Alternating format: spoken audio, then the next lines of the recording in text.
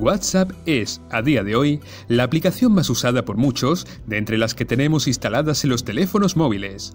A través de ella compartimos no solo mensajes de texto, sino también fotografías, ubicaciones, audios o vídeos que quedan guardados en la memoria provocando, en ocasiones, serios problemas con el espacio disponible. Para evitar que el uso diario de WhatsApp nos deje sin almacenamiento disponible en el dispositivo, existe una opción de borrado de archivos que no conlleva eliminar las conversaciones ya abiertas con otros usuarios.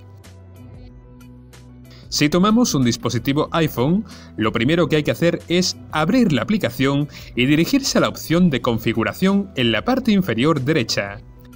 Al acceder, buscamos la opción de datos y almacenamiento.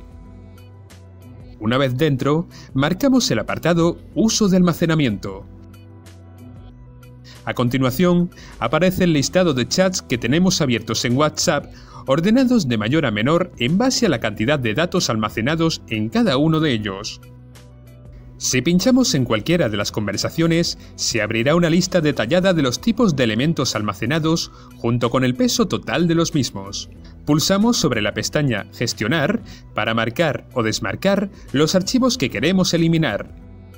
Finalmente, seleccionamos Vaciar y confirmamos esta elección.